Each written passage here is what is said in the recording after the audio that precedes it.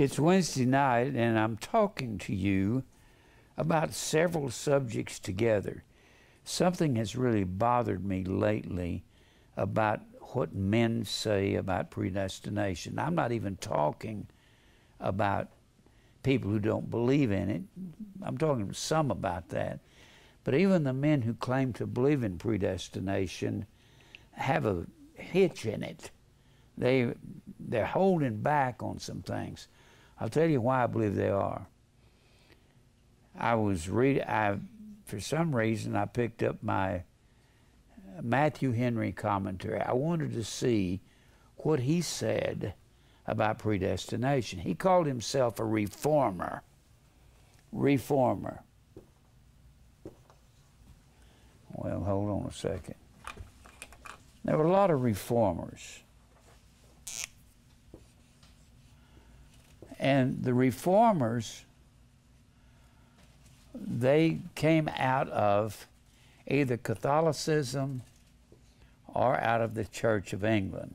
Of course, the Church of England came out of the Catholic Church, and they had the Eucharist in their in their mass, just like the Catholics did.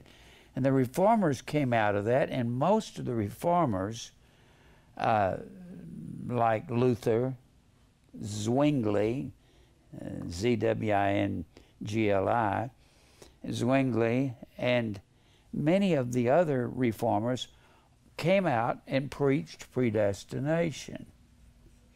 That's what was one of their main subjects. And the reason they called themselves reformers because they wanted to reform the Church of England or the Roman Catholic Church. I'm not a reformer because I do not believe the Roman Catholic Church or the Church of England can reform because they would, it wasn't founded on the truth anyway. So the people that call them reformers in America, you got Reformed Baptist, Reformed Baptist, and you got Reformed Presbyterians, Presbyterians, and they are supposed to believe predestination. But I believe what most of these people believe as reformers, they believe predestination light. It's kind of like Bud Light, don't make you too drunk. It's just not heavy duty, hard hitting.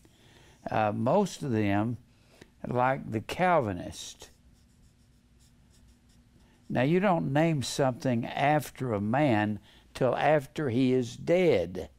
So the Calvinist, John Calvin was not a Calvinist. He was John Calvin. He was a Roman Catholic priest. These are his commentaries up here. All them right there. And uh, Calvinists believe in a form of predestination. They think they believe it, but they don't believe what I believe. They believe babies go to hell. Now, I did a 16 tape series why babies cannot possibly go to hell. First of all, they can't sin. Wages of sin is death. Babies have a sin nature, and if they get to sin, God, if they are elect, while they're in sin, God protects them, hems them in. That's what Galatians, the third chapter, says, until faith comes in their life. Well, eh, people ask me if I'm a Calvinist. I believe in more predestination than any Calvinist I have ever met. I believe in more predestination than any reformer I've ever known. Uh, I believe God creates evil, He wants it to happen. What amazes me uh, I don't know if people realize this. Who created sin? Who set up the law? I think it was God, wasn't it? Look back over here in Genesis, the second chapter. So Genesis, second chapter. And read with me there. In Genesis 2, verse uh, 8 and 9. And the Lord God planted a garden eastward in Eden. There he put man, whom he had formed. And out of the ground made the Lord God to grow every tree that is pleasant to the sight and good for food. The tree of life also in the midst of the garden, and the tree of the knowledge of good and evil. God is the one that planted the tree of the knowledge of good and evil and says, Thou shalt not. If he says, Thou shalt not eat of that tree, is that not God's law? And it's God that planted the tree. Why did he even put a tree of the knowledge of good and evil there? He had a program, he had a plan. Jesus was the lamb slain from the foundation of the world. Adam had to sin. I'll say it, try to make it quick. Adam was made out of corruption. God did not tell Adam, if you eat of the tree. He didn't say, if you eat. He said, The day you eat, you will die. The day you eat. And I don't believe people go back to this far enough. Adam was made out of corruption. I've brought this out so many times in Genesis 1 1. Genesis 1 1 says, In the beginning, God created created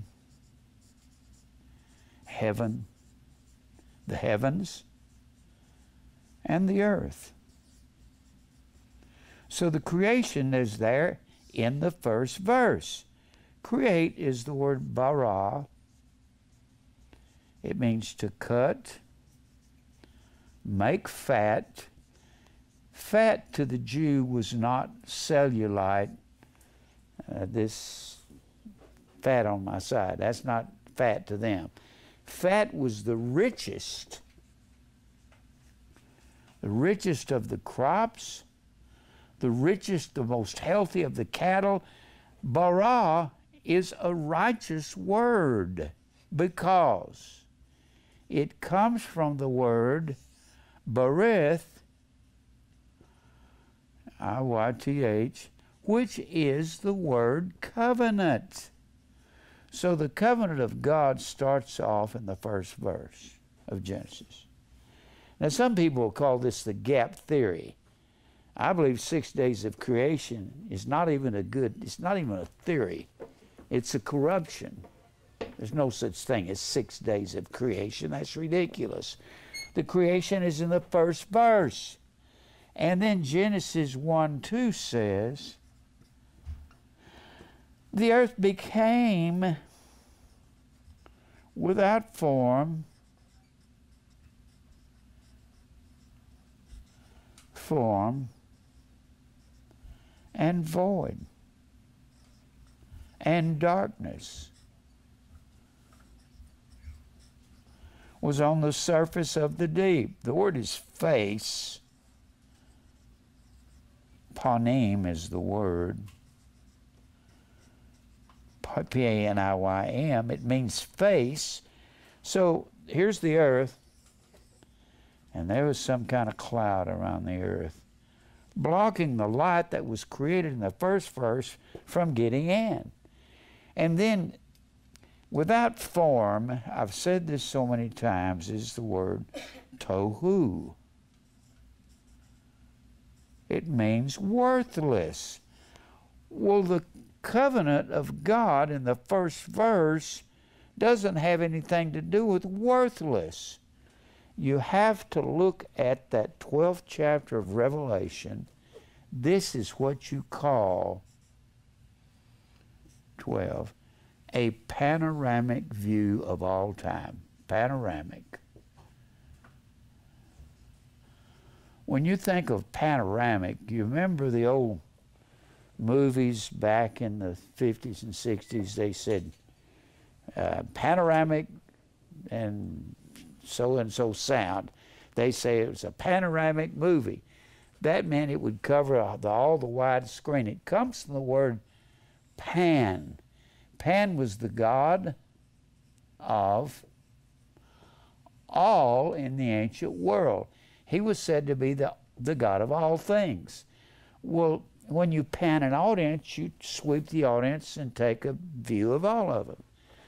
So, this Revelation 12 is a picture of all time.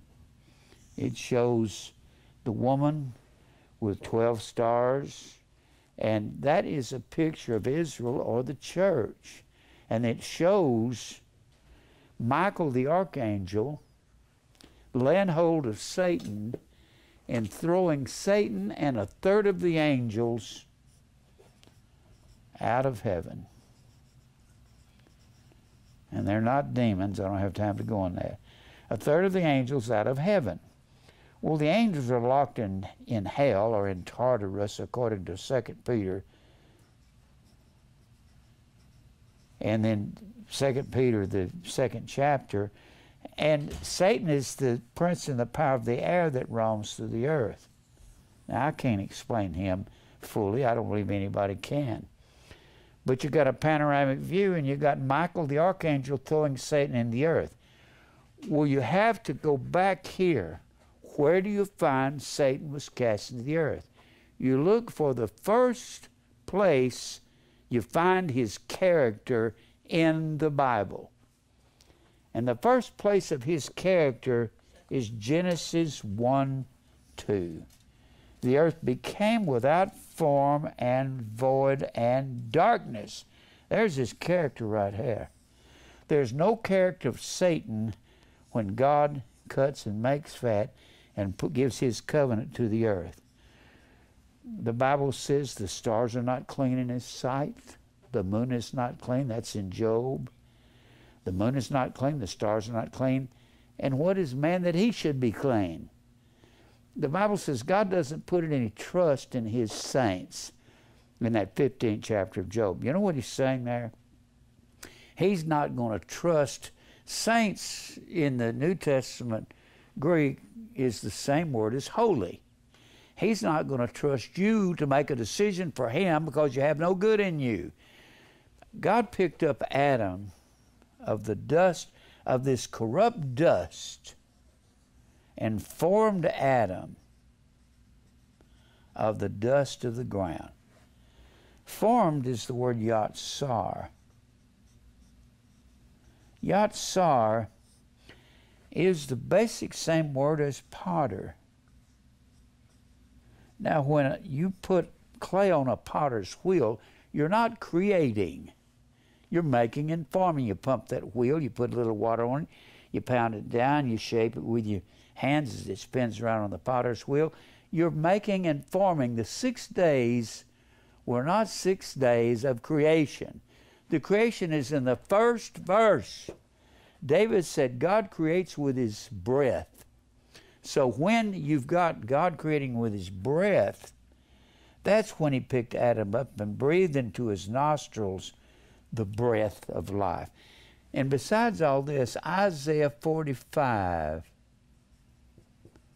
Now, I have to sell this to tell you why Adam had to sin. Isaiah 45 and 18, God says, Everything that I created I created it to be inhabited. I created not in vain. Well, this is the same word in Isaiah 45, bara. He says, I did not create in the first verse of Genesis tohu, without form, without form, without form. I did not create that in the first verse. So when you get into the you get into the first day, when God says, Let there be light, the best scientist will tell us that we have at one time the earth was covered with some kind of cloud around it. And, and the first day is not even here yet. In that third verse, God says, Let there be light. That's not when he created light. He created light in the first verse. What he's saying is, let the light in. That's a picture of predestination when he says, darkness is on the surface of the deep. And God says, let my light in. That's what he says about his predestinated elect family. The first verse of Genesis. Then he goes into six days of making and forming, not creation. He did create man on the sixth day, but that was with his breath after he'd formed him from the dust of the ground. So the fact that Adam was made out of this corruption, and God says, I didn't create anything in the first verse, I didn't create it in vain. The fact that that you've got without form and it's that corrupt dust that God picked up Adam and formed him and made him into a being. Then he created life in him, whoo, breathed into him the breath of life. Now, when Adam comes to the tree, God doesn't say, if you eat. That's like saying to a baby, if you sin, when you get older, I'm going to whip you. You don't say if you say, if you sin. You say when you sin and you're going to sin, I'm going to spank you, don't you? You don't say if you sin, because they're going to sin. All of us are going to sin. Adam had to sin. That didn't make him a sinner, that didn't make him corrupt. His flesh was corrupt over here, so God, that's God that set all this in action. So Adam couldn't do nothing but sin. It was God's will that he sinned. Being God's will, God ever he like Mary said earlier, he had a program. He was the lamb slain for Adam's lineage, those that he had chosen out of the human race before the foundation of the world. He had chosen us in Him before the foundation of the world, but He didn't just choose us to be in heaven, He chose us to be holy and without blame before Him in love. That's what predestination is about. There's some things that have bothered me. I was reading Matthew Henry, and he, Matthew Henry said the same thing that uh, the pulpit commentary. I've got a set of those, got a lot of information in it, but they got a lot of things I don't believe. Pulpit commentary. That's like 23 volumes, 23. And I went into Romans 9. They said the same thing that Matthew Henry said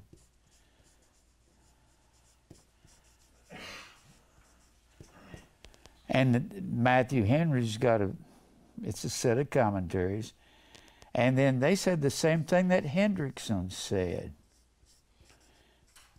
And this is what most people say that claim to believe in predestination. They say God looked ahead in time and saw who would who would believe him?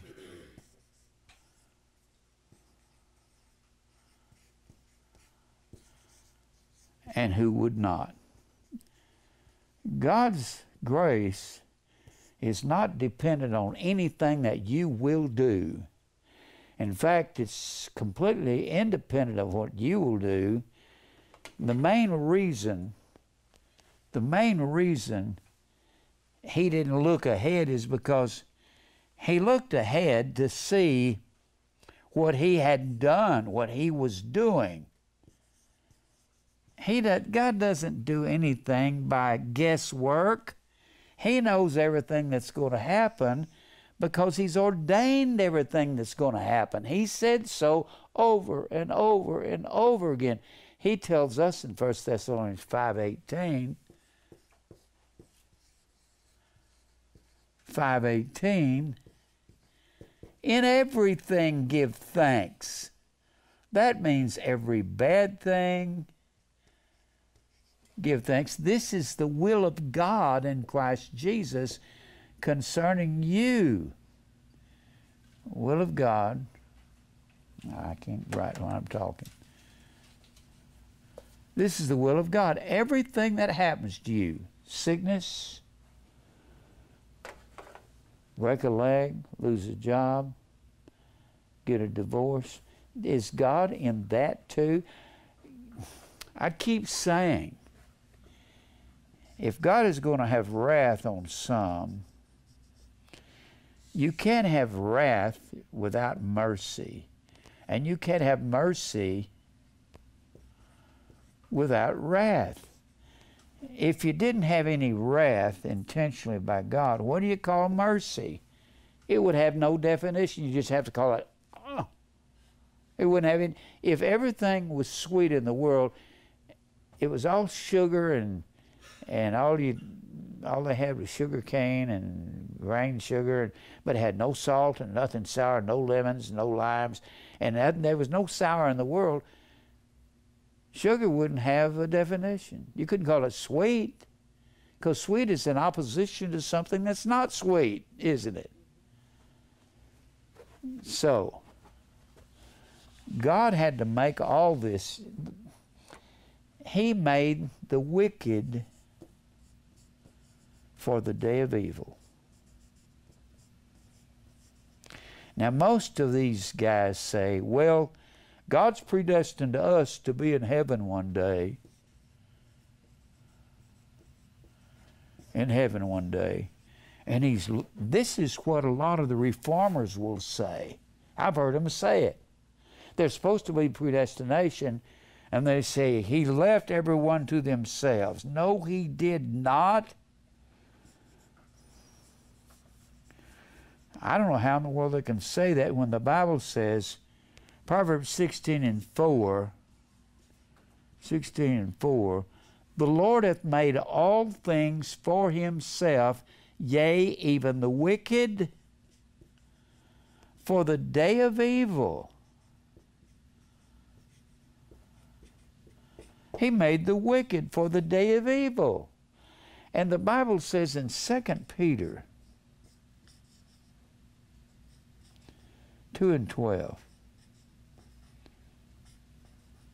Speaking of these presumptuous men, clouds without water, uh, wells without water, clouds that are driven about with the tempest, they cannot cease from adultery. The Bible says that these people were made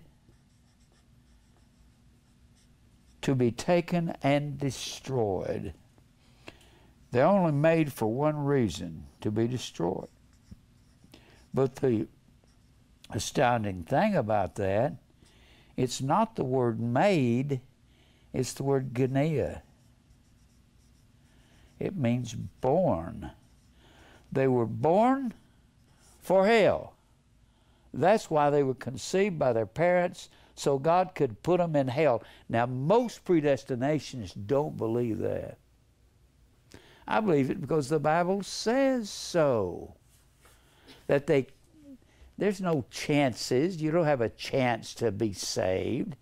You're saved by the will of God, not your will. Men are born not of blood, nor of the will of the flesh, nor the will of man, but of God. John 1 13. It's God's will that a man goes to heaven. It is not his own will. Now, and there's another verse I can't get all of this out in one lesson. Romans 9 22. Romans 9:22 says God willing. Now this this shows you how one word can really change the meaning of something. God willing, it says in the English Bible, God willing, it says if, but it doesn't say if in the text. God willing to show his wrath. This is why you got to understand gender this word wrath, God wanted to show his wrath and make his power known. Make power known. God willing to show, it doesn't say God willing to show his wrath. Not in the original text, it doesn't. It says God willing to show te or G eta.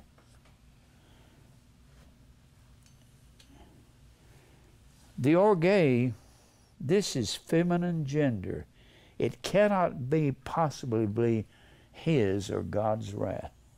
His is a masculine gender possessive pronoun. God is not, He is not a female. And it, they took His, they took the feminine gender and turned it into His. You can't do that. But they did, the translators did. And orgay is the wrath and anger and fury. The ada on the end of that is feminine gender.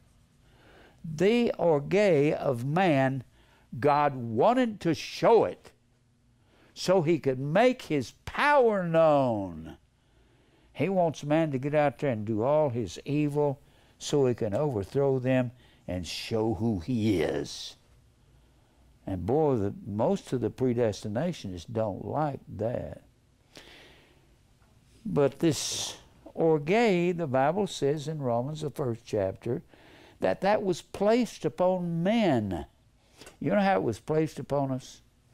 God formless of the dust of the ground. And it's in this flesh to fulfill self and to be angry and have this orgay. So the Bible says, God willing to show the wrath of the people, He wants to show the fury and the rage of man so He could cast him down and destroy him. It doesn't say the wrath in every I'll, I'll bet you, and I'm not supposed to bet, I'll bet you that most, most reformers, and they all quote this, but I'll, I dare say not hardly any of them know that it's not his wrath, it's te, that's a form of thee, feminine gender, orgay feminine gender.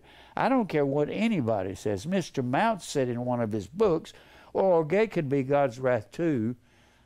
Mr. Mounce is a brilliant scholar, but I don't agree with him on that at all. I believe God is exact in His Word in the original text.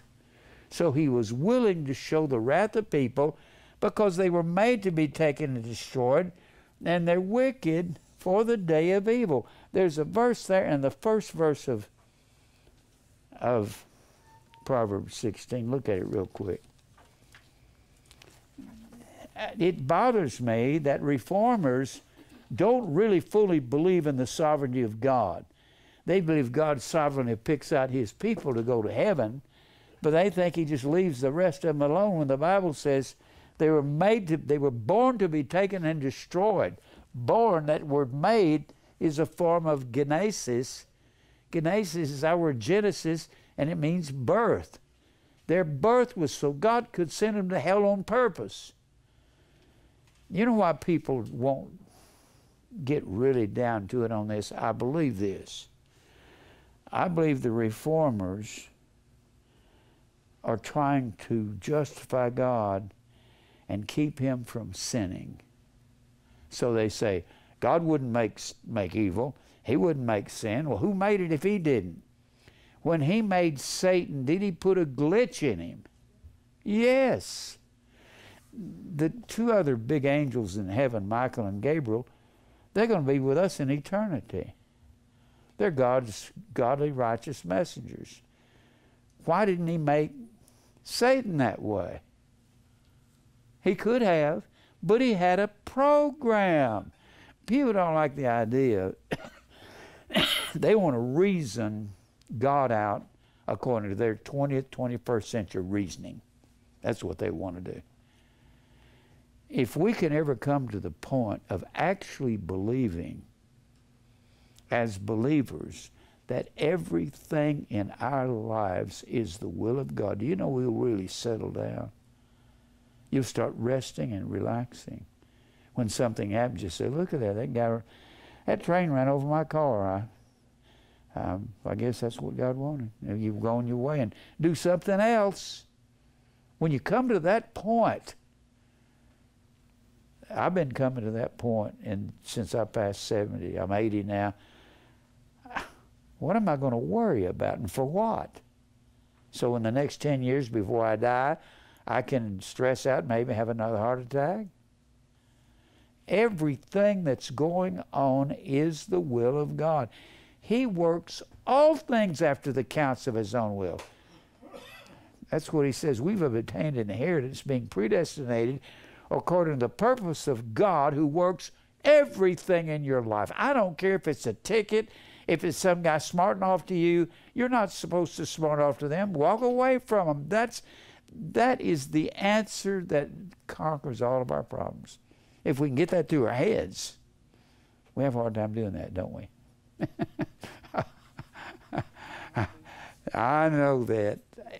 But if you'll fight until you're old, you'll wake up one day and you'll say, This is not working. I think I'll try something else and quit fighting. I used to fight, phys- not physically, but verbally, fight people. Do you know how much it changed? nothing. Didn't change anything. Besides that, God's working in their life to be a pill in your life. If something's happening to you, they're doing that so you'll go through what you're going through so you'll learn to quit. Maybe he'll teach them to quit down the road somewhere if they're believers. Now, what bothers me, uh, you know, we go buy, go to the store, buy half and half. Half and half is what most of the reformers believe: half predestination and half free will. I believe everything is of God. I keep saying this. David saw Bathsheba on the housetop. He didn't have any clothes on. She was bathing out there. He said, I want her. He got her, got her pregnant, had Uriah the Hittite, her husband, put in the heat of battle, had his nephew, Joab, who was his commander in chief, back away from Uriah so that Uriah be killed so he could have his wife. And then the baby she's going to have, she's pregnant, the baby dies, and later on, from Bathsheba and David is born Solomon.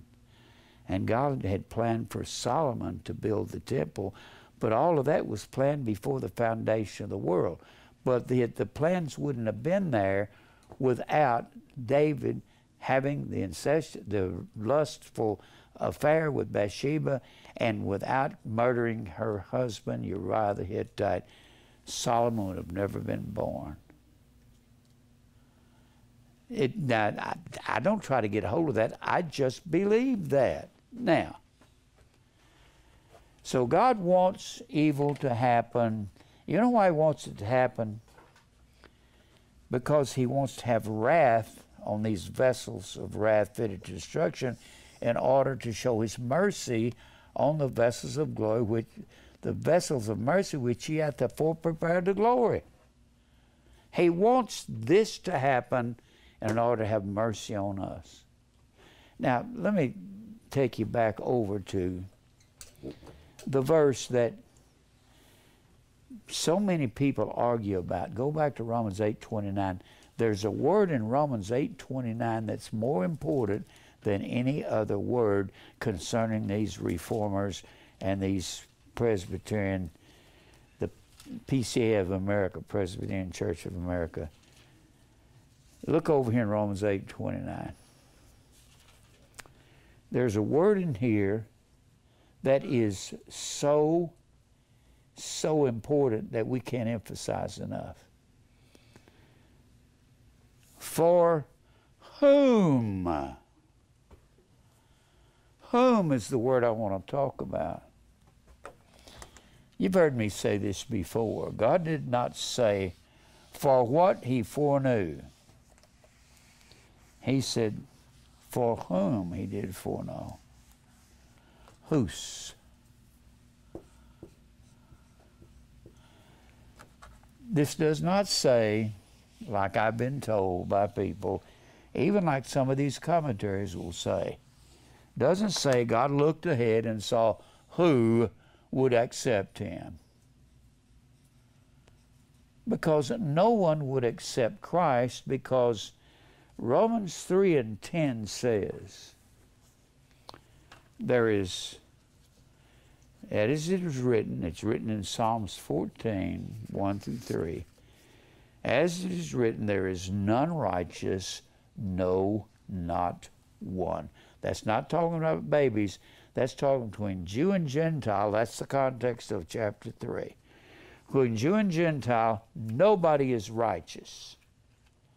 So if you have no righteousness in you, when you are dead, how are you going to come alive?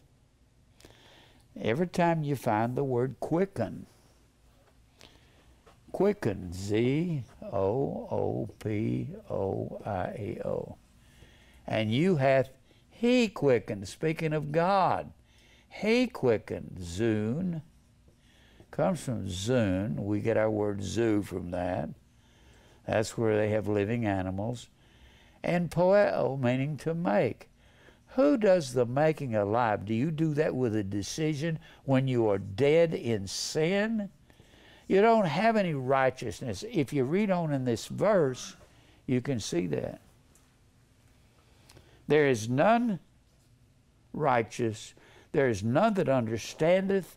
There is none, nobody who has ever lived seeks God, period. None seeks God. They are all gone out of the way. They are altogether become unprofitable. There is none that doeth good, no, not one. If nobody seeks God, how can, and they'll try to come up and say, well, you have to cooperate with the Holy Spirit. You're dead. You can't cooperate with anybody. You're dead in sin. It's like going down and to a funeral home and you have a dead loved one. You walk up to the casket. If you will try, I'll try, and we can maybe get you to come back to life. They're dead. They can't come alive. They have no will to do anything. You don't have any will. You don't seek God. Nobody has the will. It is, it is not of him that willeth, nor of him that runneth, but of God that shows mercy on a person and cuts into their heart. Everybody you run into during life, every human being is either a vessel of wrath or a vessel of mercy. And that's already been determined from the foundation of the world. If we can get that in our heads, we won't argue with anybody. I'd spend less time probably than anybody here talking to somebody about truth if they just flat don't want it. I say, excuse me, and walk away. I, I might as well be talking to a rock or talking to a tree out in my yard. I can't go out there and get a tree. Why don't you become a rock? You can't talk goats into being sheep. Now, the Bible says, For whom he did not foreknow. He did not say, For whom God foreknew would accept him. For God knew, uh, for God foreknew, he foreknew whom? For whom he did prognosco.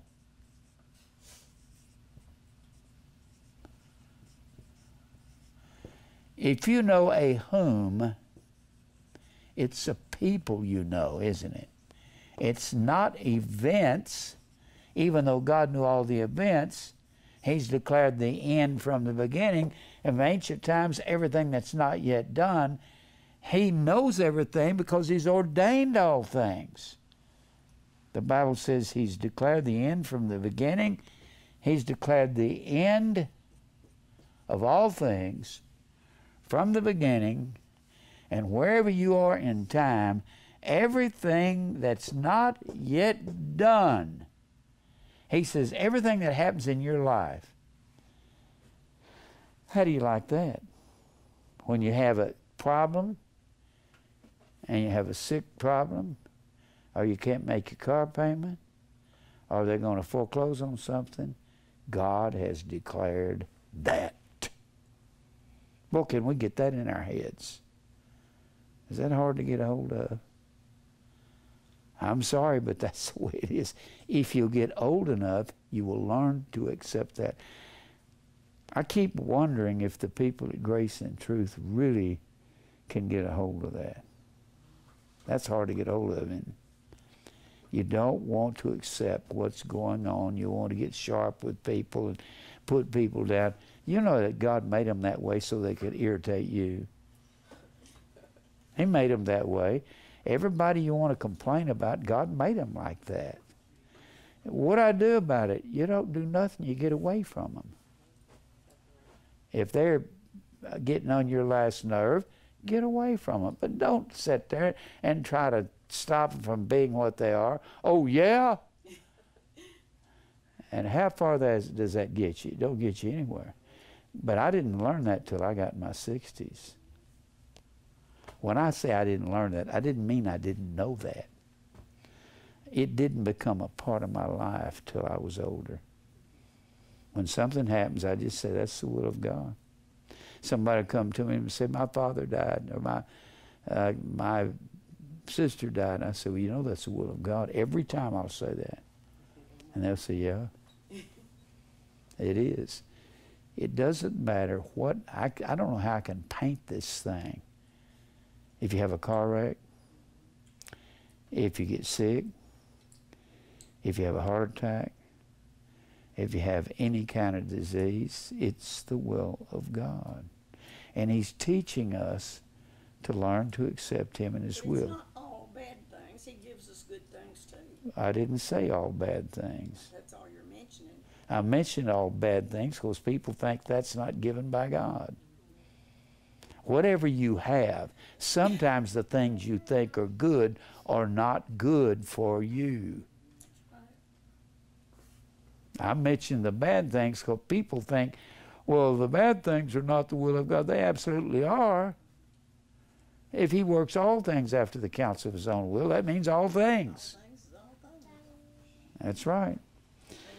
And but people don't think God has a switch. And it's hard sometimes to tell what is the switch, what's good and what's bad. Just because it's a new car, it don't mean it's good. Just because it's a, a new outfit that you got don't mean that's good. Everything, and we know that all things work together for our good. To them that are the called according to his purpose. I want to dwell on the bad things because I don't think people really believe that here. Do you have a hard time getting hold of that? Huh? Are you? Maybe God will have to take you through a whole lot more fire. Now, most of these reformers will say, well, God works everything good. He works all things together for good. He works good for good. No, no, he works bad for good. The things I've heard, y'all heard me say this. I went through some times in my life in the late 60s and early 70s I didn't think I could get through. And they made me who I am today. They actually formed me into the thinking I have. And I didn't think I could live through it. I thought, I'm going to die and I didn't. And I came out stronger to be who I am. You won't believe something is for your good until you get way down the road there. The Bible says, I've quoted a thousand times, I know, I know that whatsoever God doeth, Ecclesiastes 3.14, whatsoever God doeth, it shall be forever. And what does he do? The scripture well, I'm going to. He'd known unto God are all his works from the beginning of the world. I know that whatsoever God doeth, it shall be forever. Forever is the word olam. If he's doing all things, olam means it always has been, it always will be. I cannot fathom, I can't fathom how all these things have been in the mind of God from forever to forever. I can't figure that. I just. So you can't add to it. You can't take away. That's right. It says you you can't add anything to the, not by worrying, and you can't take anything away from it. That's what the scripture says. You can't do anything to it. You just take it. Now, I've got a lot of verses on all these things. I'm going to give you when he said, For whom he did foreknow. For is an extremely important word. For and whom, without those two words, you can't have the rest of the verse. Because for is what you call a subordinate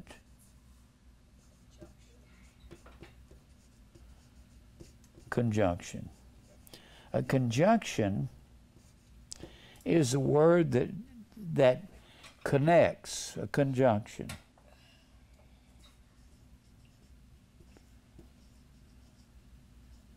You've got coordinating conjunctions.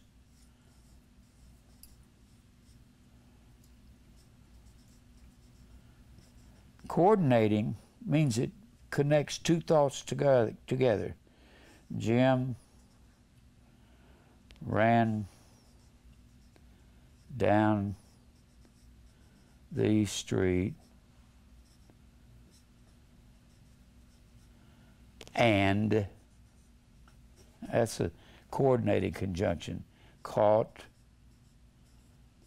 the bus and coordinates this thought and this thought and you've got conjunctions subordinate subordinate means it means to obey. If you have a boss at work, you are their subordinate and you have to obey what they say. This word for is a subordinating conjunction and it, it, it, it has to obey what has just been said with what's about to be said. That's what it does. It's going to help you understand what's going to be said. Well, what was said before this that for is so important? Gosh. Takes you all the way back to the seventh chapter, that inner and the outer man, the outer man that serves the, the flesh. And when you work your way through that eighth chapter, everything it's talking about is how that God has to subdue that outer man that you find at the very end of chapter 7, Romans 7. And you've got a wrestling match going on with the inner man, which is Christ in you, and the outer man, the outer man, which is the flesh, which serves the law of self, and the inner man, which is Christ. And the inner man puts you through fire and trials and persecution, and that's necessary. He'll break your leg, make you lose your job, make your children sick. He'll do whatever he has to do, and that's good. In order to get our attention, boy, God has wore me out. God put me through 30 or 40 years of living hell on earth. I didn't think I could get through it. I've had all kinds of ailments and sicknesses and heart attacks and cancer and, and had operations I can't even remember. So it's the inner man telling the outer man, you're going to die. And it teaches us over years to die. So that coordinating, that subordinate conjunction the subordinate conjunction is talking about the groaning in the previous verses. For whom he did foreknow. For means I'm going to connect all the things I've been talking about, about getting over that, uh, that fleshly man that you find in. I've preached on this, but I don't think I've ever really exhausted it. When he says, O wretched man that I am, who shall me deliver me from the body of this death? In verse 35 of the previous chapter. I thank God through Jesus Christ our Lord. So then, with the mind, I myself serve the law of God, but with the flesh, the law of sin. Those are the two men that Paul talks about constantly through all of his writings.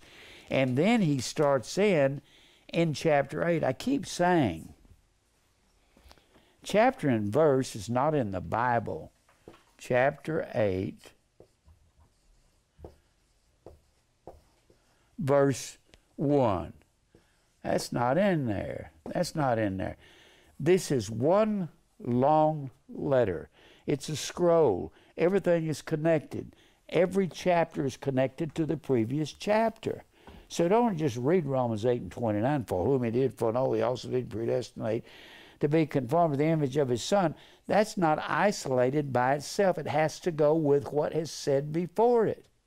So he's talking about all through here.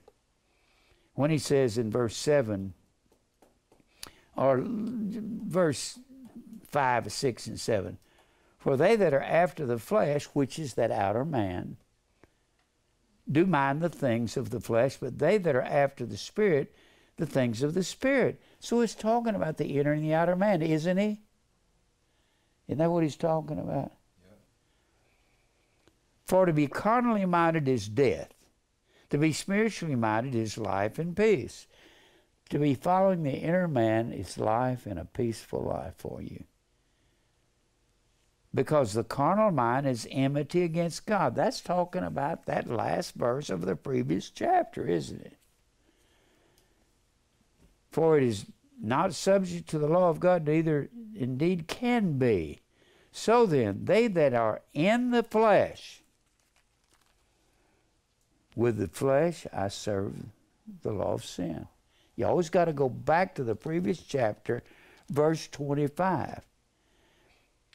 And you are, he said, So then, they that are in the flesh, the outer man, cannot please God. You're not in the flesh, but in the Spirit.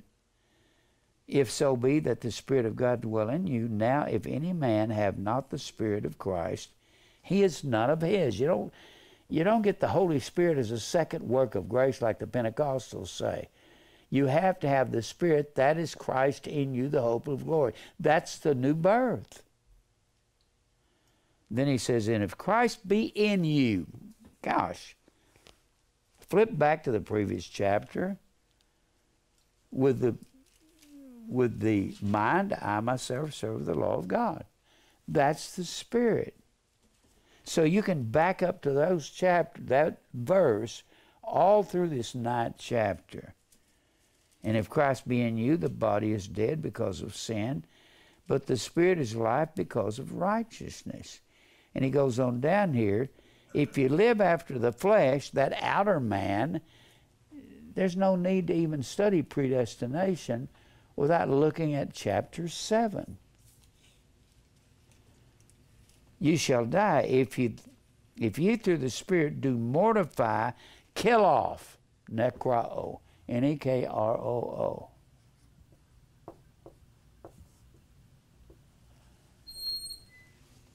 O.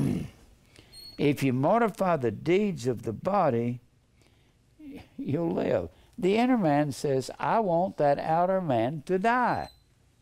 And over enough time, with enough spankings and enough fiery trials, which is to try you, think it not strange, konidzo. Uh, don't think that's an occasional guest. That fiery trial in 1 Peter 4 and 12 is about this predestination. God's going to get rid of you. At 80 years old, he has really got rid of most of me. Boy, I don't any want to more want to argue with anybody than I want to jump off this building on my head. I just don't want to do that. And I've never heard anybody preach Romans 8:29 for whom he did foreknow in connection with the chapter here that it's in. Can can you see that? It's about this. Are you going to live in the flesh? Are you going to live after the inner man and spiritual things? Yeah, but I can't let people take advantage of me and they'll run right over me. Oh, you're living in the flesh when you say that. Can y'all see that? That's exactly what we do. And I've been as guilty as all of you. I've lived in the flesh. I ain't going to let them run over me. told my little brother, You need to repent of your sin, Dean. He said, I'm not going to repent to you. Oh, uh, he was absolutely not repenting. What he was saying is, I'm not going to change and believe the things you believe. Look at verse 14. For as many as are led by the Spirit of God, they are the sons of God. The Spirit's the inner man. But what is the Spirit? The truth. John 14, 15, 16, John 15, 26, John 16, 13, 1 John 5 and 6. The Spirit is the truth. So if the Spirit's the truth and you're led by the Spirit, you're a son of God.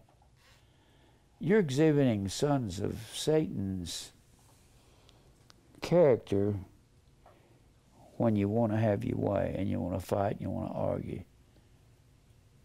Do I expect you to get a hold of this just because I'm saying it? No. it's going to take a lot of fire you want to beat people in the head. That's not the way to. Have you ever have you ever noticed that you don't accomplish anything being angry? Have you ever noticed that? Well, Just you do accomplish one thing. You make yourself crazy. You make yourself crazy and sick. Yeah. and that's not the way to live, not for the believer. Then he says the he goes on down here and he starts talking about for the creature was, in verse 20 for the creature was made subject to vanity not willingly adam was made of corrupt dust back here and he was made subject to vanity because god picked him up and made him out of corruption, and he couldn't keep from sinning, and it wasn't his will to do that. It was God's will, wasn't it? God made Adam willing to sin because he put him in a corrupt body. Not willingly, but by reason of God, it says him, it means God, who hath subjected Adam the same in hope. Boy, I love that verse. For the creature was made subject to vanity, matiotes, transientness, just sin. It's made subject to sin, but it wasn't Adam's sin. He was made subject to this outer man. That's what he's made subject to, because God put him in a body like that but by reason of God who hath subjected the same, and He subjected you and I in hope, those of us that are believers. The unbelievers are not creatures, they're not creations. A creation is something God does and it's righteous. So the creature is the inner man. There was verse 2 of Genesis is chaos that's what happens when sin enters a man's life. Chaos enters. Because the creature itself also be delivered from bondage of corruption into the glorious liberty of the children of God. And we know that the whole creation groaneth. Sustenazzo. The whole creation, the whole church. Sustenazzo.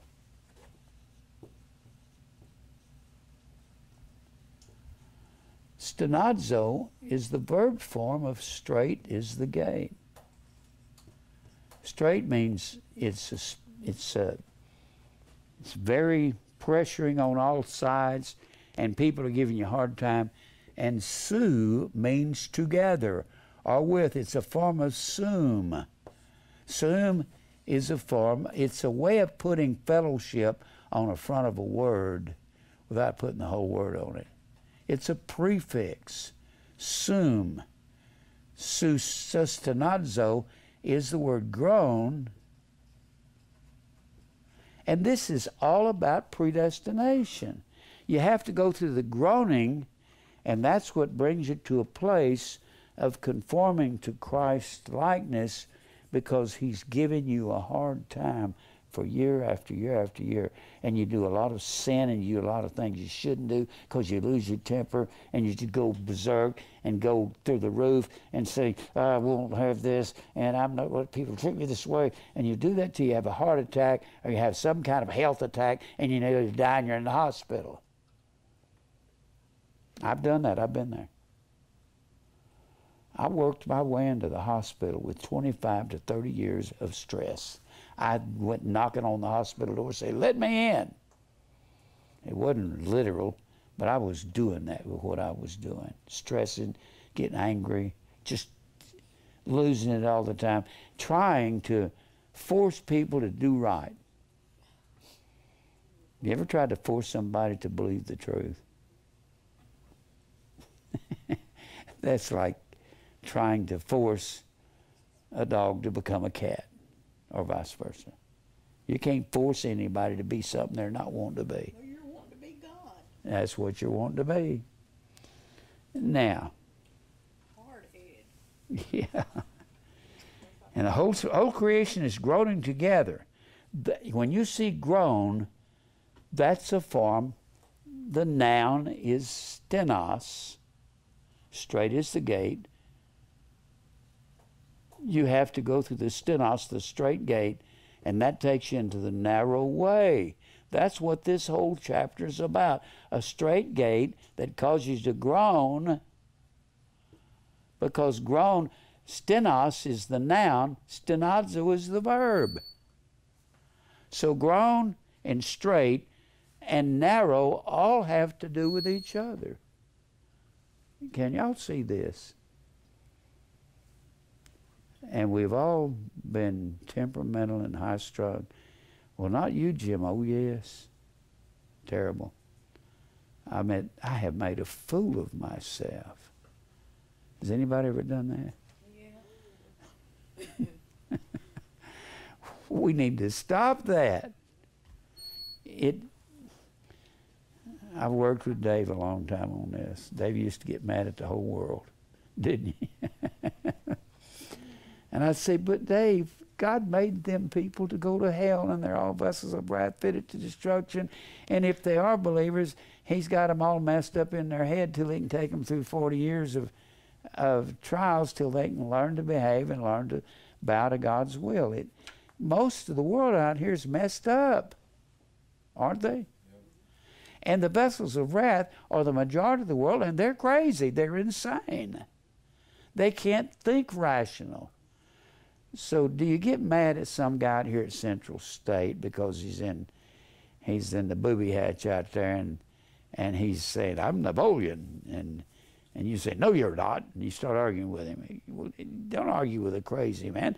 I'm not gonna argue the preachers up and down the street and I think they're all crazy when they preach uh, accept Christ and sinners prayer for salvation got Christmas and Easter and they never preach that uh, Jesus said you have to be hated by the world.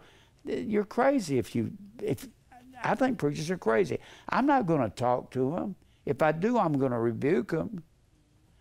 I rebuked two real big preachers in town here publicly. Now, let's keep reading down through here. He's talking about we ourselves grown there in verse 23. But ourselves also, which have first fruits of the Spirit, even we ourselves grown within ourselves, waiting for the adoption. Every time you find the word adoption, that shows you that you don't have nothing to do with getting into heaven and getting into the kingdom of God. Adoption is into a family. Adoption is the word huiothesia.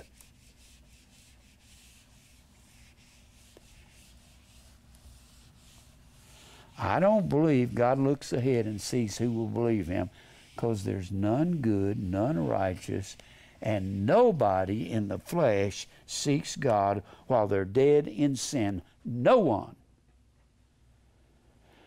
So how can, and most of the reformers say, well, God will look ahead and see who would accept him. That's free will. So he predestinates them. So most, a lot of those people that believe that, believe it's according to the will of man that he comes in. Only when God sees his will uh, ready to believe God will God predestinate him. That's not predestination, that's free will. The Bible says in Psalms 110:3, great verse, thy people. Thy is a possessive pronoun. Thy, possessive. It means God owned them. Possessive pronoun. A pronoun, by the way, takes the place of a noun. That's why it's called a pronoun. It's for the noun. It's in place of a noun. Thy people, if he could name all of us, he'd put Jim and Dave and Charday and Mary and so forth, on and on and on, and Brittany and Glenn and the rest of them. He'd put us all down, but it's we are his people. He says, Thy people, God owns them, shall be willing in the day of thy power. It means they're not willing until God makes them willing. Thy power. So God's people, He owns them. It's the same thing in John 10, the parable of the Good Shepherd. Jesus said, I'm the door of the sheep. If any man enters in, he has to come by me. And the Pharisees came to Jesus and they said, How long are you going to make us to doubt? If you're the Christ, tell us plainly. He said, I told you over there in John 8 47, I told you, if you're of God, you'll believe me, but if you're not of God, you won't believe me, and you're not of mine, get away from me. That's what he told the Pharisees in essence. He says, My sheep. He didn't say goats become sheep. He didn't say that. He said they're mine. My is another possessive pronoun. Possessive pronoun, singular. My sheep, they belong to me. They hear my voice. They know me. And I want you to notice what he says there. I've said it and I think I've always said it too fast. He said, They're my sheep.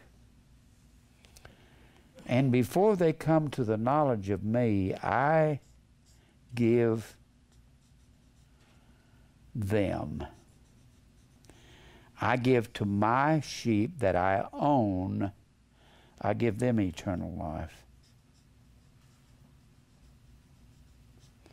And Jesus told the Pharisees in that same context, You will not believe because you're not of my sheep.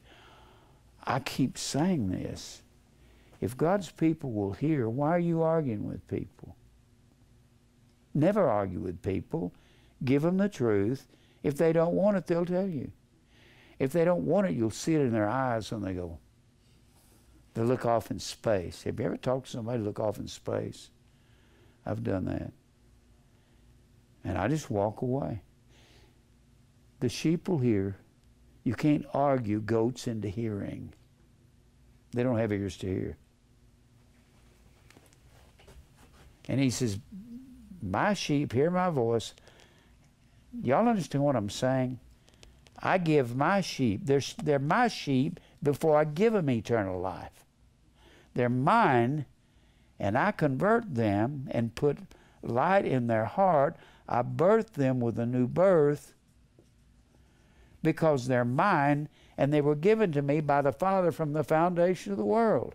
And Jesus said, All that the Father giveth me, John 6 37, shall come to me, not might come. So you don't have to I'll tell you what, we're more free than free will people are because they always got to convince people, find some guy in the street, twist his arm behind his back, and say, repeat this prayer after me, and you'll get to go to heaven by this sinner's prayer. We're more free than they are because we can say, look, God's got his sheep chosen. If you're one of them, you'll hear. And if you're not, you won't. They have to do a ritual. Right, uh, they have to do a ritual. And they think a ritual is going to save them. Yeah. Ritual is not going to save anybody. I've said this, and I don't know if y'all really have gotten a hold of it. It took me a long time to get a hold of this. You don't have anything to do with going to heaven. Nothing. Not anything. God simply picked you out if you are His elect, came along one day in some kind of situation and put truth in your heart when it's sitting there with the outer man. The outer man likes to argue with it and wants to fight back at it. But God put it there, and He's not going to let anything take it away from you. And over time, He'll have that inner man go through fire and trials and persecution, tribulation, till you start giving up self. And that happened to me. It's not a decision you make. It has never been a decision that anybody makes. Just all of a sudden, you wake up one day and you find yourself interested in the Bible. You go, why am I interested? I don't remember having any kind of experience. The new birth comes only by the miracle of God. Only He knows how He does that in each one of us. I can't understand it.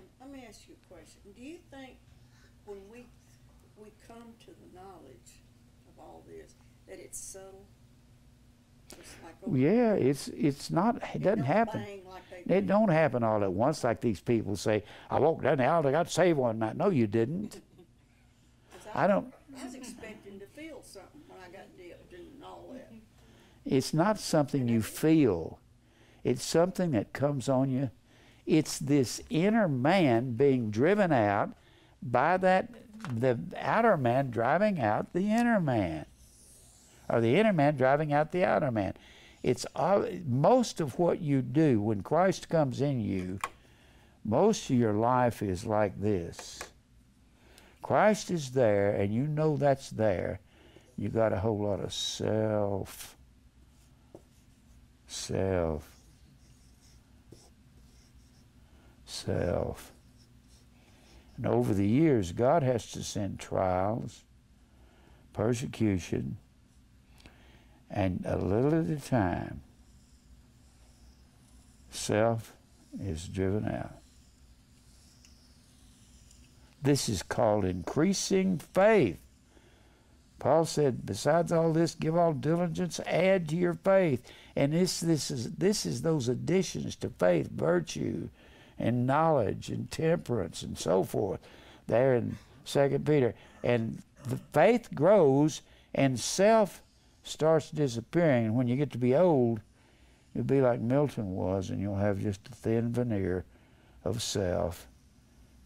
But it'll be most of it'll be Christ in you. The older you get, the longer you live. But what will, this is like leaven. Jesus said the kingdom of God is like leaven. You put a little bit of leaven and a, a big lump of dough, and before long, the whole dough is leavened. And it takes over us just like this. But the thing is, we've got truth that we live in. How much time do I have, Mike? 17. All right, look here. Let's get back over here to Romans 9. I didn't mean to go here. Well, he Matthew Henry and the rest of these guys say, well, God looked ahead in time and saw who would uh, accept him, and then they, then he predestined them after he realized who would believe him. It's not true. You're not any different than Adolf Hitler or Attila the Hun or Jeffrey Dahmer when you're in the flesh and you have no truth in you. You're, all sinners are the same except for the grace of God, you will do those same things. People don't believe they're that bad. That's why, like I preach that message once in a while, people don't believe in predestination because they don't know how evil they are. They don't know how evil they are. What? I got a Matthew Henry Bible. Well, no, you, nobody can hear it from up here. But I don't want to get on Matthew Henry. I don't agree with a lot of things he, he said. I know that he was always, he said that uh, God looked ahead in time and saw who would believe in him and then he predestined him. That's not true. God's God's grace is not contingent on what you will do down the line because you won't do anything because you will not seek God. Nobody seeks God, period. Where do these guys come? What do these reformers come up with that? And they don't like the idea that God sends men to hell on purpose. I got a track over here that God sends men to hell on purpose. He says that God will make it appear that he hates sin. he creates sin and then he hates it. It doesn't appear that he hates it, he hates it. And he says, um, God endured them with much long suffering exercised a great deal of patience towards them, and so they became fitted for destruction, fitted by their own sin and self hardening. Not self hardening. Most of them say that they harden themselves. The thing is, God made them out of corruption, and they couldn't do nothing but sin. There's not really any difference than a, in a corporate head and some murderer on death row out here at the prison. No difference. Do you think there's a good hell and a bad hell? And the, and the corporate head that goes to the church, when he dies, he goes to the good hell, and below that is the bad hell for some axe murderer? No. God hates the double dealing that the corporate head does as bad as he hates the killing. God hated false teachers in the Old Testament worse than somebody killing. David was a murderer, and he loved David. And David was an adulterer. And David wept and cried and repented. Unless God deals with a man's heart, he can't come. No man can come to me, Jesus said. He said this, John 6 44. No man can come to me except my Father which has sent me draw him. And that's not a magnetic pull. That word draw, helco, means to drag in. Helco. Look, look at that real quick because I want to show you something here. Look at John 6. John 6. And he says here in John 6 44, No man can come to me except my Father which has sent me, draw him, in verse 44, and I will raise him up at the last day. And that's Helco, drag in. And over in John, the 21st chapter, Peter's out fishing, and they cast the net on the right side of the ship, and they cast therefore, and now they were not able to draw in the fish for the multitude. That word draw is the word helco. In John 21 and verse 6. It's the same word. It's an effort. It's dragging us in. And people say, God won't make you do something that you don't want to do. He certainly will.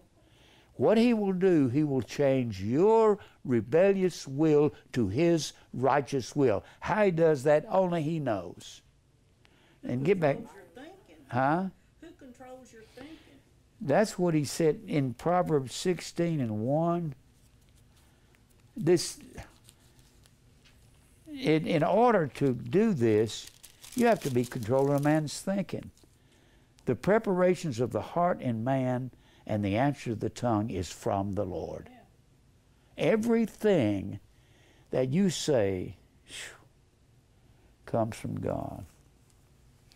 And look back over here at verse 26 in Romans 8. Likewise, the Spirit also helpeth our infirmities the Spirit, the inner man, helps our infirmities, for we know not what we should pray for as we ought. Remember, prayer means to bow to the will of God. But the Spirit itself, the inner man, maketh intercession for us with groanings, stenagmos, a form of stenazo, another form of the straight and narrow way, which cannot be uttered. And he that searches the heart knows what is the mind of the Spirit, because he maketh intercession entugchano. He impinges our progress. This whole chapter is how hard God's making it on us. And then he says he makes intercession.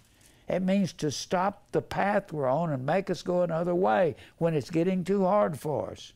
For the saints, according to the will of God, and we know that all things that you've been going through that's causing all this groaning is working together for your good because you love God and you are the called, the ecclesia, of the church, according to His purpose, for.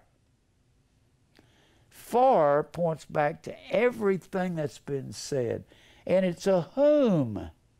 Every one of these verses is talking about a whom. It's talking about that inner man from the last verse of the previous chapter and the outer man that serves the law of the flesh and how the inner man is going to drive that outer man into death.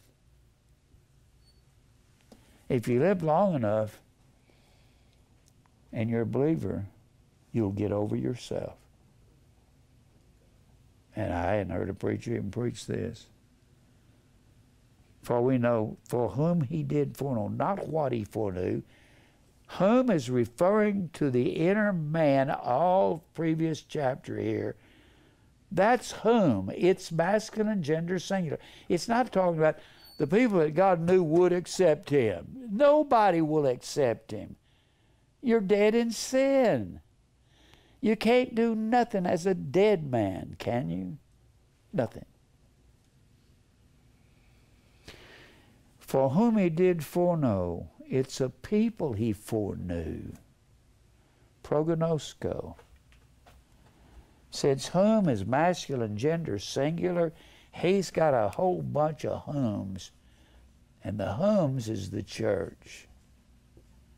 It's the called out from the previous verse. It's the called. It's them that love God from the previous verse. It's the church. It's the wife. It's the bride of Christ. That's the whom's. It's not what God knew would they would make a decision. It was not based on their decisions. Why is it Paul didn't make a decision for the Lord? Jesus just struck him down and said, Paul, why are you persecuting me? He said, Who art thou, Lord? That's a funny verse. Yeah. Who art thou, Jim? Who art thou, John? Who art thou, Glenn? Paul knew who he was. The whom's is what he knew. When the Bible says in Matthew 7,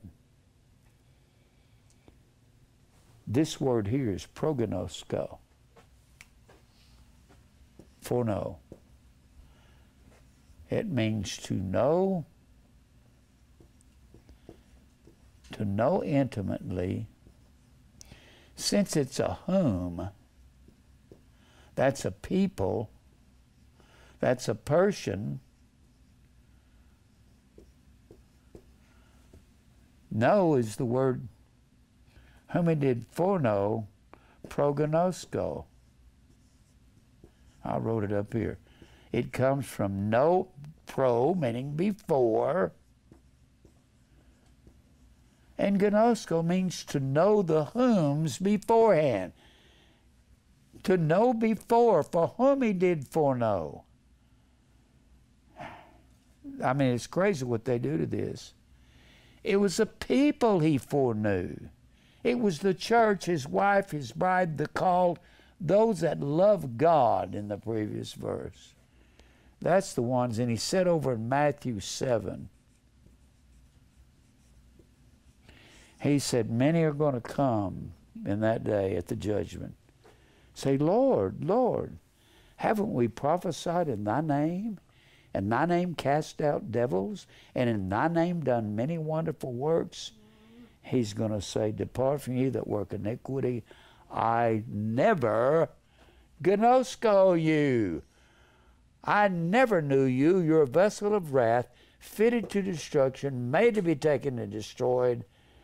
But those that I foreknew, I knew before the foundation of the world, in the mind of God. That's what he's saying. And if he knew you, he knew you to conform you to his likeness. The ones he foreknew, he didn't just foreknow you to go to heaven, he foreknew and he predestined prohorizo. He pro before horizo. That's our word horizon. He predetermined you for the light, the horizon, and the horizon is the division of day and night, are light and darkness. And forgiveness means to pardon and release from prison, and that's darkness because prison, fulake, means division of day and night or light and darkness. Light, dark. So to pardon and release from prison, aphesis, means to, that's the word forgiveness, it means to pardon from darkness and lead to the light. So you're predestined to be forgiven, but not without repentance. So God has to rebuke you in your heart, and forgiveness comes as you repent daily from your old self, and that old man has to die off. I am so thankful to be 80. I can't stand the Jim Brown at 35. He drove me out of my mind. Yeah, and you too. I mean, I really did. I was a basket case most of the time in my 30s. I was mad at the world. I didn't understand. I wasn't supposed to be mad at the world. This is all the will of God. Don't you think most of us were? Yeah. Most of the believers kind of get crazy when they're young, don't they? Until you get out of it. I just this this thing bothers me with the reformers. They think God just they don't really believe predestination. When somebody says, You believe predestination, I say, Not like you think. I believe everything, the good, the evil, the bad. But he doesn't do that so you can say, Well, I'll just since the evil's since the evil is ordained by God, I think I'll go out and just have fun. Oh, you do that, he'll beat your brains out if you're a believer. He'll beat you with a bulb that's about 500 miles long. He, he says in here, sinners fit themselves for hell. No. I mean, it's, God fits them for destruction. That's the thing most reformers say. Really? Sinners fit themselves, yeah. The sin will fit them for hell, but God put them in those sinful bodies and unredeemed. They don't want to blame God for hell or for sin, and God is the one that invented it. Listen to this. He says, God chooses some and refuses others by his own absolute and sovereign will. Well, he does that. But then he turns around and they want to they're trying to absolve God of blame. And they think if you create sin and create evil, that makes God to blame. No, that makes God God. When he says, Thou shalt not kill, he wasn't talking about himself. He said, I kill, I make alive, I wound, I heal. But it's not murder when I kill. I kill because I want to. And God is not under the law. He creates sin, and it's not sin. He can do what he wants to. For some reason, we think God is on our level. And he's not. He's above the law. Well, I'm out of time. Maybe I explained some things there. I hope I did. Let's pray. Father, thank you for truth. Deal with our hearts. Fight our battles because we can't fight them anymore. We're not able to. Thank you for truth. Lord, keep this ministry going. Open up many doors for us to go through. I don't know how to do things. I just get up here and preach. And, and if you want a building to come about, you'll have to do it. I can't do that. I'm not some hustler that wants to hustle people. Deal with our lives, Lord, and lead us in your way. Lead us to your elect in Christ's name, amen. Well, I don't agree with most of those uh, reformers. Well, he contradicts himself. I know that, but all of them do. They all do that, Mary. They were all that way. Hey, Rusty. Well, you know. So isn't, uh, isn't like hell code the exact opposite of free will? I think so. You're dragged. There's you're being dragged in. You're being dragged in I ain't free will. I ain't got nothing to do with it. Yeah. But it's a free will choice. Yeah. It's stupid, isn't it? It's dumb. Hey, bro. Hey. What's going on? Helco. Yeah, Helco. Helco. Helco is going on. Yep. Being drug. I love predestination. I have to preach on it once in a while, but that's that bothers me that these reformers talk about believing predestination and they Charday? Yes. Was I preaching to you? You was preaching to me. all of us, man, all of us. well, I'll, I'll make up for that. I'll hug you. I need it. More fire. He was like, "You need fire. I was like, don't tell God that. So more fire. She need it. Amen. How you doing? I'm good. This was amazing. This, all that stuff I went through at the beginning with the reformers and everything, and then, but they weren't deep enough, they didn't get it. Oh, they don't, they don't really believe predestination. Hey, my brother Dave, I love you guys. Love you too. I really do. We're us learning. all the time, what do we believe? Huh? People ask us all, ask me all the time. And it's hard to tell them without them listening. Yeah, you almost have to give them a lot of detail. Believe in the Bible. Just, just keywords. Hey, Sheldon, how you doing? All right. Sheldon.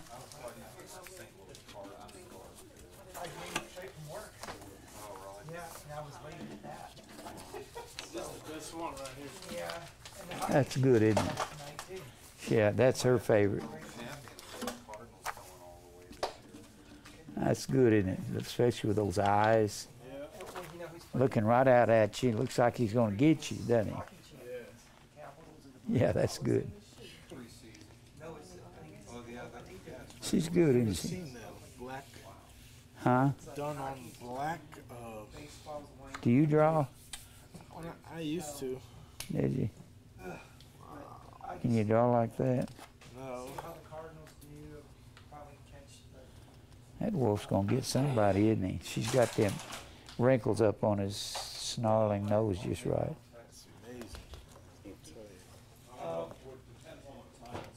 she's drawing all that this past few days. That's neat there. She don't, she don't gotta look at anything. She can just draw. You oh, know, she has to look at stuff. Yeah. She's sketching. Um, um, Glenn, what you been doing?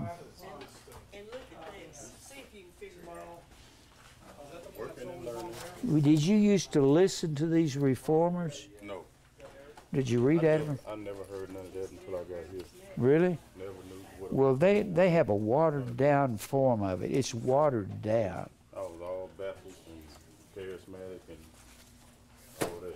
Yeah. Well, the reformers claim to believe like us, but they don't because it's kind of watery predestination, you know. And I don't like that. Atoll. I want the real thing, you know.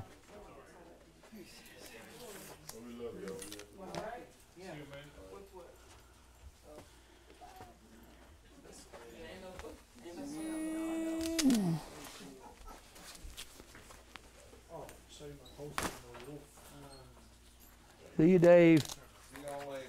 Okay, I love you.